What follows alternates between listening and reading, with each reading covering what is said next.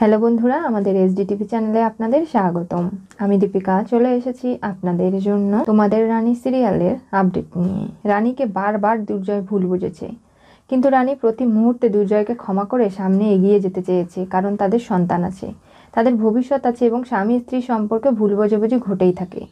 কিন্তু দুর্জয় আজকে পরিবারের সবার সামনে যেভাবে রানীকে দুশ্চরিত্রা বলেছে, যেভাবে রানীর গালে কষে একটা চর বসিয়েছে, এমনকি রানীর কোনো কথাই সে শুনতে চায়নি।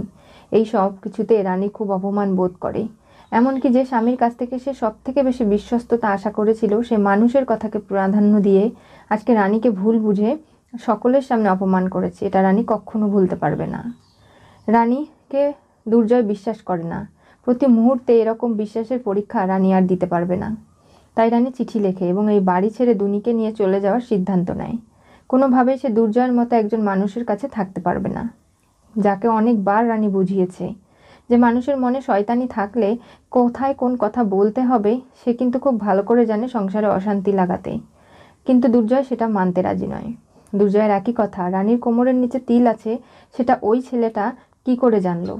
কি করে জানার কথা? তার মানে রানীর সঙ্গে তার কিছু এমন সম্পর্ক রয়েছে, যার কারণে সে জেনে গেছে। কিন্তু রানী এতবার বলছে, পিকলুদার সঙ্গে তার কোনো শারীরিক সম্পর্ক ছিল না। কোনো এমন সম্পর্ক ছিল না যাতে পিকলু এই ধরনের কথা বলতে পারে। কিন্তু সে কি করে জানলো রানীরও মাথা কাজ করছে না। কিন্তু পিকলু বুঝতে পারে যে এই কথাটা বললে রানী দুর্জয়ের সম্পর্ক শেষ হয়ে যাবে, তাই সে বলেছে।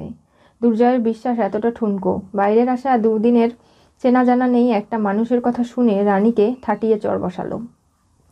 আর পিকলু ভাবতে লাগে, রানী একদিন ঘরে যখন শাড়ি পরছিল, ঠিক সেই মুহূর্তে একটা জানালার ফুটো দিয়ে দেখেছিল সে রানীর কোমরের নিচে তিল আছে। সেই কথাটাই আজকে দুর্জয়কে জানিয়েছে অনেক মশলা মাখিয়ে, আর দুর্জয় সেটাই বিশ্বাস করে নিয়েছে। তাই রানী বাড়ি ছেড়ে চলে যায় চিঠি লিখে। দুনিকে সঙ্গে নিয়েই সে বেরিয়ে যায়। রাস্তায় তার শরীর খারাপ করতে লাগে।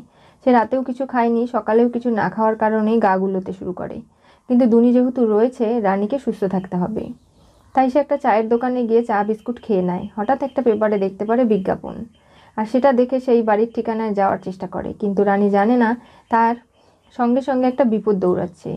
সে চায়ের দোকানে থেকে যাওয়া একটা মহিলা যে বাচ্চা চোর, সে কিন্তু রানীকে ফলো করছিল।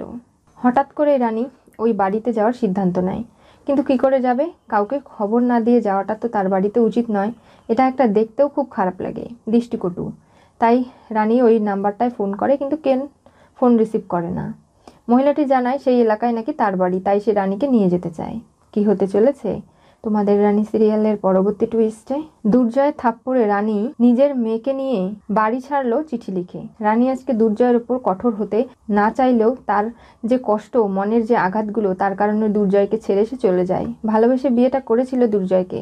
দুর্জয় রানীকে বুঝবে, বিশ্বাস করবে, এটাই সব থেকে বড় কথা ছিল। দুর্জয়ের পরিবারের লোকজন যে ব্যবহার আচরণই করুক না কেন। রানী সবসময় দুর্জয়ের কাছ থেকে ভালো কিছু চেয়েছিল। নিজের বাবা মায়ের পছন্দ করা ছেলেকে রিফিউজ করে দুর্জয়ের হাত ধরে পালিয়ে এসে বিয়ে করেছিল। তার প্রতিদান যে এরকম হবে, রানী তাই দুর্জয়কে সারা জীবনের মতো মুক্ত করে চলে গেছে। কি ঘটবে এবার?